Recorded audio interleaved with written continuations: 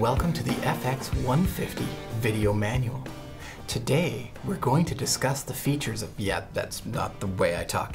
Um, welcome to the FX150 video manual.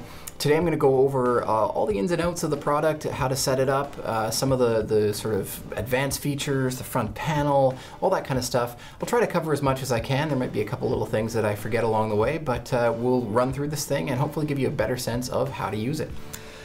First things first, you're gonna take the unit out of the box and there'll be some other things in there with it. So you've got a manual, fold out thing.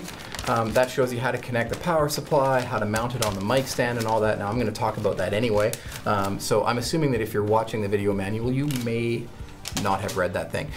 There is what I consider quite comprehensive uh, reference manual also available online. So if you thought that the one in the box was the only one that you get, there is a reference manual available. There's tons of diagrams and things in there for how to hook things up in the various circumstances you might be in.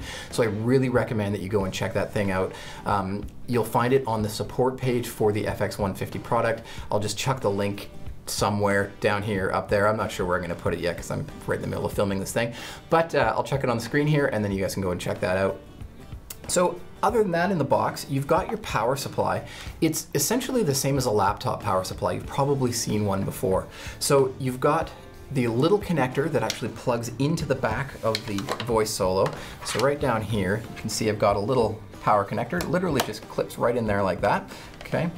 And on the other side of it is where the power connects into the wall. So this will be your, um, they call it an IEC connector, but it's essentially the power cord goes into here, little three prong dealy. And then on the other end is the plug that goes into your wall. And depending on which area of the world you live in, the prongs will look different. Hooray, okay. The last thing that you get in the box is this little thing. I'll try and put it down here as well just to see if you can see it. Ooh, this little hat looking thing. So this little hat looking thing, which I'm going to now officially refer to it as, um, is what helps you mount FX150 vertically on a mic stand. So there's a few different ways, obviously, that you can mount this product depending on how you want to use it. I've got one over here that's actually mounted on a mic stand. Um, I'll just turn it around here. You can see how it just clips right in here into the mic stand. You got these two little grippy parts there. On the back here, if you see it, you got little grippy bits, and they hook into the mic stand as it goes down in there. So I've mounted it that way, but there are a couple of other options that you've got.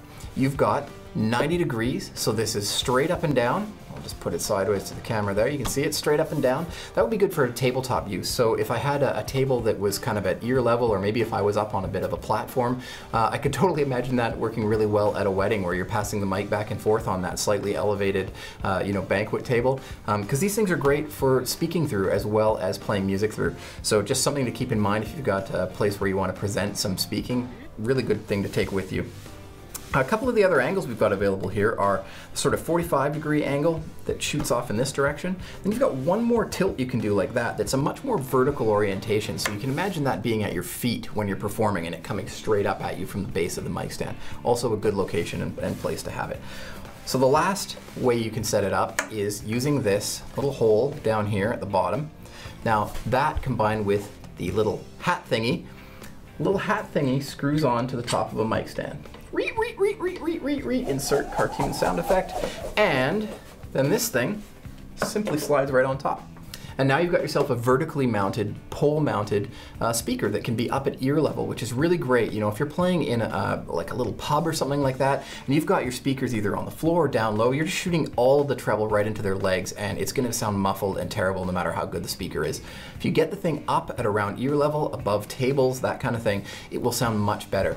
The other advantage to this is that if you have a couple of these units, you could imagine another one, over here where this hand is, being in stereo and actually having a stereo field that you can present to your audience. So it's a really cool little feature. Don't lose the little hat thingy. All right, so we've talked about connecting the power. I've got one now that's live, so I'm just gonna actually plug it in back here. And uh, the funny thing is, I have just realized that I've got the unit upside down like a complete pro. So as you know, you know I never make mistakes and I'm totally professional at doing this. Uh, I'm gonna plug the sucker in.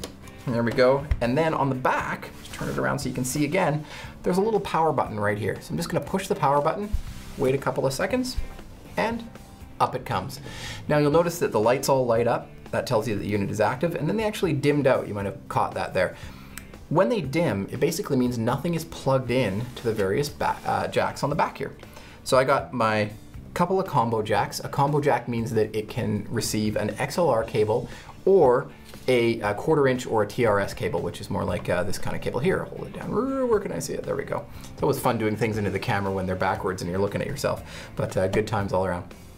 So you've got an XLR cable, otherwise known as a mic cable, and uh, if I plug one in in the back here, click it in there, it only goes in one way, and I turn the unit around, now you'll see that this strip of lights is actually brighter and that's indicating that this channel is now active and that these controls would have an effect on the sound of what's coming into that channel. Typically that's going to be a mic that you plug in or a guitar, but it could be any instrument, any output that comes from an XLR or a, a quarter inch output, be it TRS or TS, tip sleeve or tip ring sleeve. So I'll unplug this one here and you'll see if I just quickly plug it into the other channel, now you see this middle one is lit up and the other one is not lit up, right? Gives you a good indication of what's going on. So you've got a couple of options on channel one. On channel one here, you can do, like I said, the XLR input, you can do a quarter inch input, which goes right into the middle, so you can see fits right into the same jack. And you can also connect a guitar in there, and you may, if you're using an electric guitar, want to use high Z, which is a, a different impedance that works better with the pickups in an electric guitar. So there's this little teeny high Z button up here, and you just push that in for the high Z operation, and you let it go for the regular operation. So if you had a mic or any kind of signal that's just a regular line level signal, you're gonna wanna have that button out, not pushed in. You plug in an electric guitar, you got your Strat, you got your Les Paul, plug that or push that sucker in like that. The other thing you might need to know right away is about phantom power. So you wanna make sure that you know where the phantom button is. Right down at the bottom here, it says plus 48. You can push it in, push it out. Obviously in is on, out is off. Uh, you wanna use that setting if you have a condenser microphone. Now, often you're going to go out to a mixing board. You don't need the phantom power also turned on on the mixer. So I've got this little mixer here just for a couple demonstration purposes later. You don't need that uh, phantom power on on the mixer. You just want to turn it on on the, on the uh, FX150 itself so that it provides phantom power to the mic. So that's essentially hooking it up. You've got one more little input down here. You've got a little aux input. That's gonna be your eighth inch stereo input for things like your phone, your MP3 player, all that kind of stuff. And we'll talk about this, uh, this through and the out later on um, as we go through operating the channels and what you're gonna connect to. So imagine you've connected your mic. We'll go for the most simple setup right now. I'm just plugging in a single microphone. So I've gone around the back here. We've gone through that procedure plugged in my mic, rotated around, only fits in one way. There we go, got my mic, I'm singing into it. The first thing you're gonna wanna do is make sure your master volume is turned all the way down. This is the volume of the speaker, okay? So it doesn't affect the level that goes out to your mixer. So if I'm connecting a cable from this guy here to the mixer, and that's going out to a PA, the volume, the master here, doesn't affect that level at all. It's only how loud is this sucker, right? So what I'm hearing back myself. The level that does affect what goes out to this is right here. So any of these buttons, when you want to control any of this stuff here, it's, a, it's, it's exactly the same operation for every single control.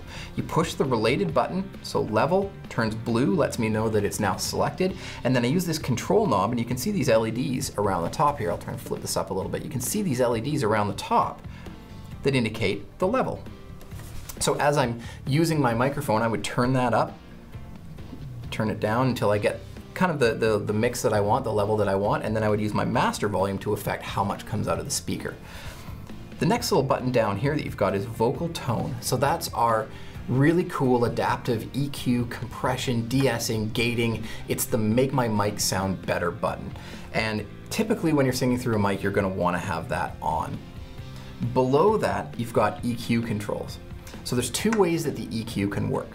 If you have vocal tone on, then these high, mid, and low controls, which work exactly the same way as the other controls, you press the button, turns blue, you adjust it up and down, same with mid, same with low, exactly the same operation. When vocal tone is on, those buttons are kind of like a, an amendment to tone. So it's a little tweak to tone. It doesn't give you the full range of an, of an EQ that you would have if tone wasn't on because we're sort of using tone to get you in the right ballpark to begin with. And you might say, I'd like just a little bit more mid, just a little bit more warmth, or I'd just like to roll off that bottom end just a little bit, add just a tiny bit of high end. That's where those controls will come in handy. If you want a wider control over the EQ and you don't want to use all of our adaptive stuff, which we always recommend, but you know, sometimes you want to turn it off, you turn vocal tone off. So you turn it off there, now you've got access to a different range of that high, mid, and low control. Essentially the range is broader and you can tweak more up and more down within those uh, controls right there.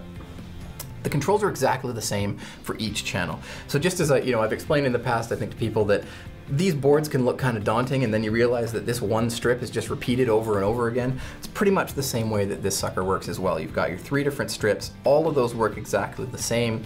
You plug in your second channel. I'm gonna do that here. You'll see it light up. You might have all three channels uh, plugged in. I can do that for you here plug in these two, so you might have, you know, uh, vocal cancel on, or vocal tone, sorry, on one and not on another. Um, I'll pop it out of my channel one mode. There we go. So I might have vocal tone on one, but not on the other. Um, all that kind of stuff.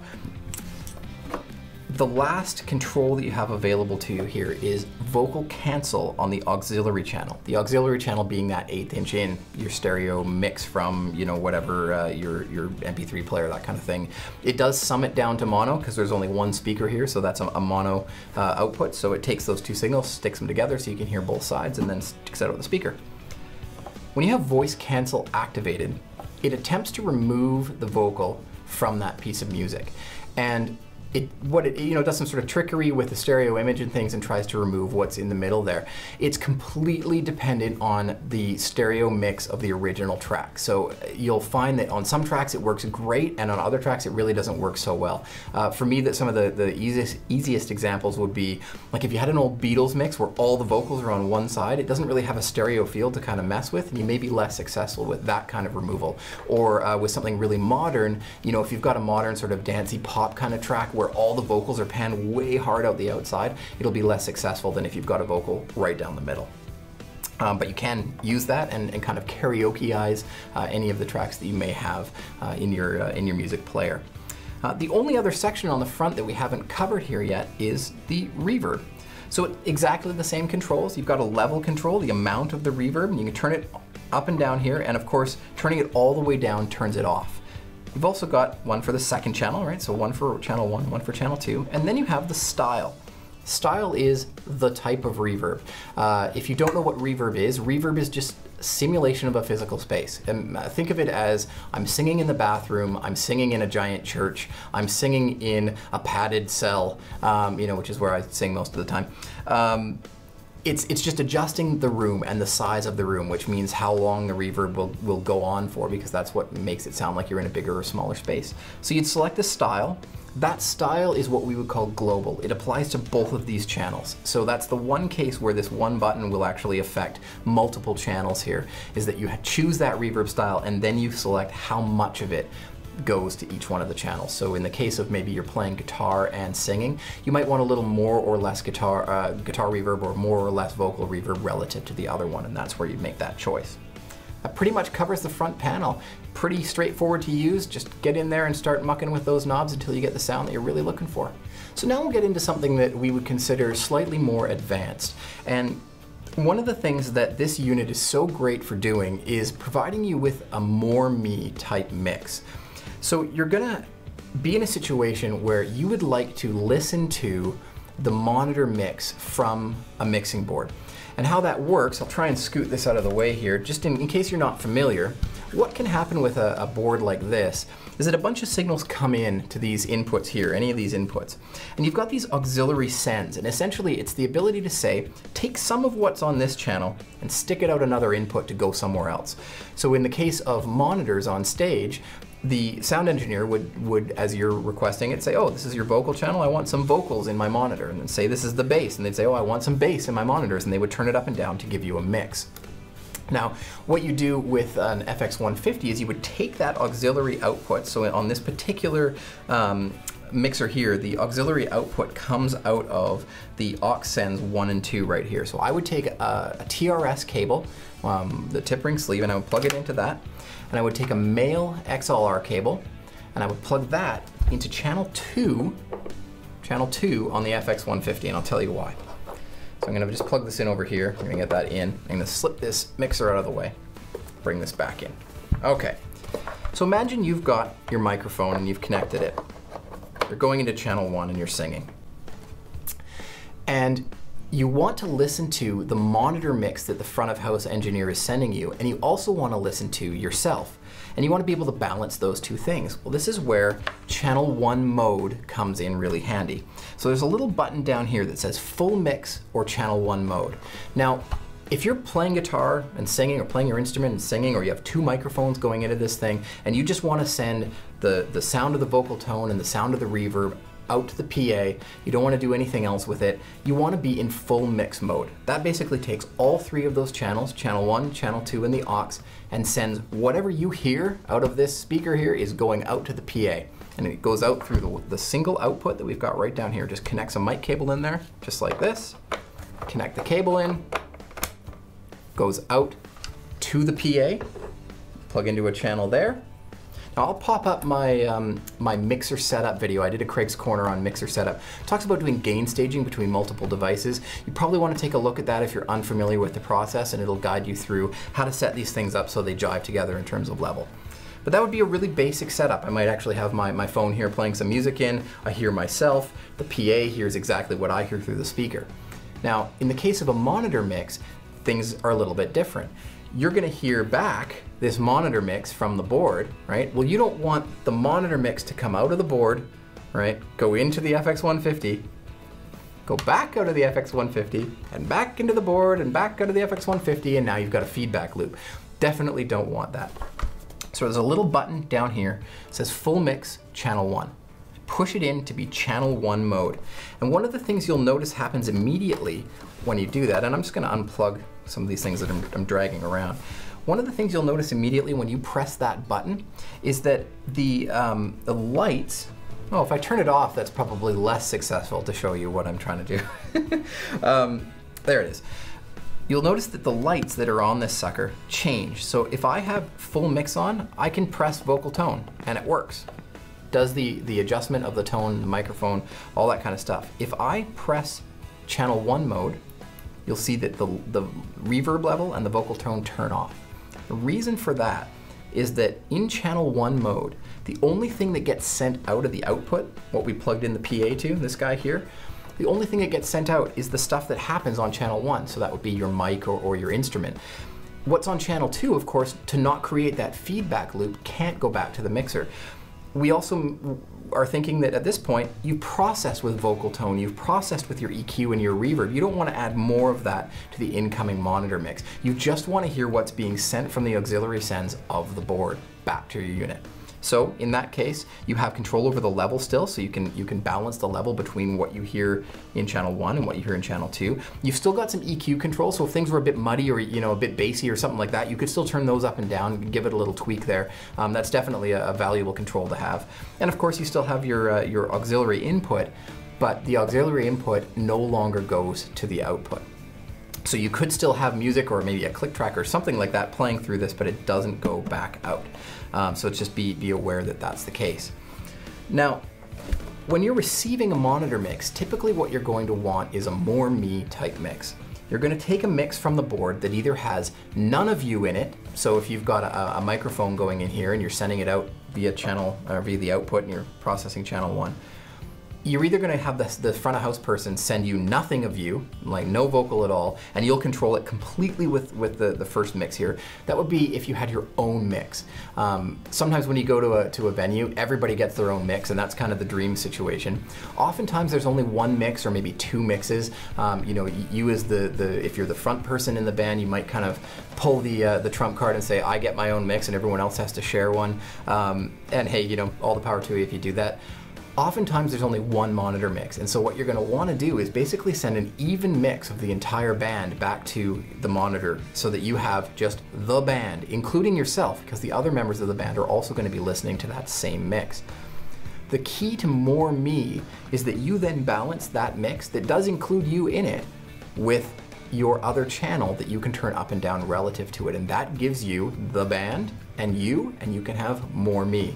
And that's generally the situation that people find themselves in. They're like, I can hear everything else, I just want more of myself because they want to be able to pick out, you know, the parts that they're singing and playing and all that kind of stuff. So that's a really good way to get the mix in.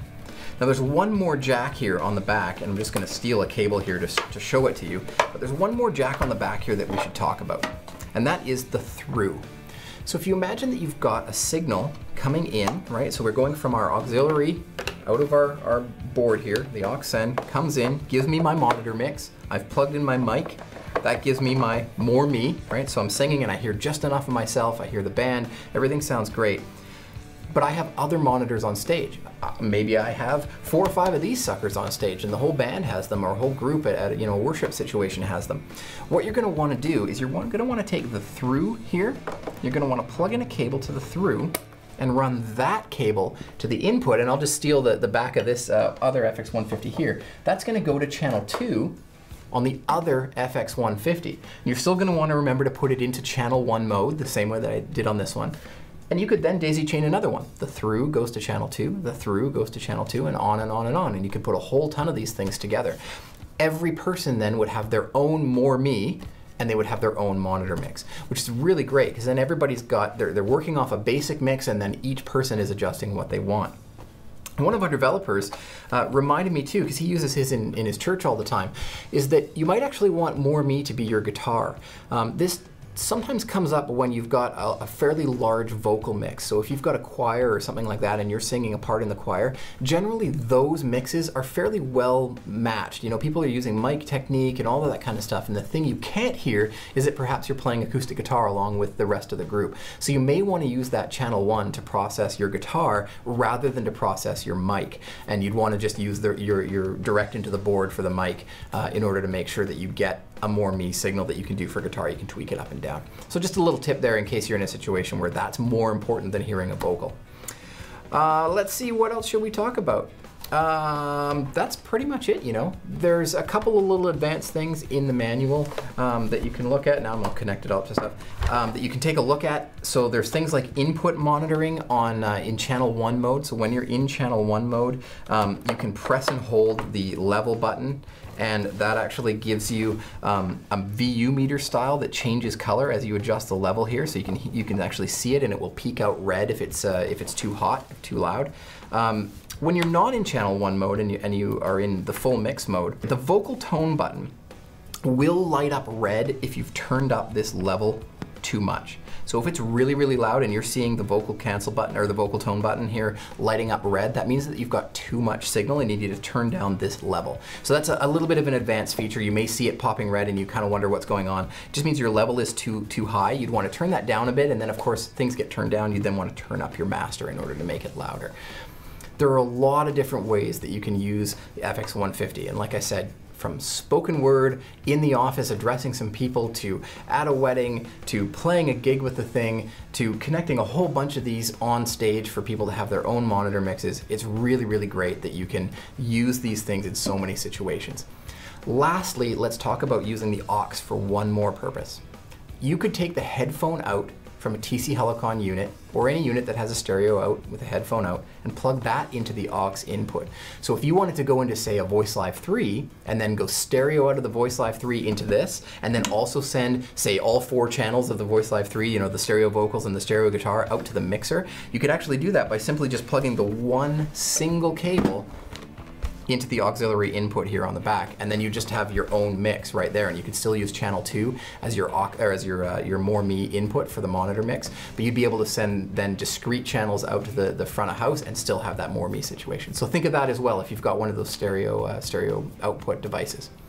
All right, well, I think that just about covers it. Thanks so much for hanging with me here. And uh, if you've got any questions, make sure to check out our forums. You got support.tc-helicon.com slash forums. That will get you to where I hang out and some of our other support guys and a bunch of our really cool users, uh, all really great community. And you can also check out, of course, the manuals and things online that I posted those links earlier. Okay, take care.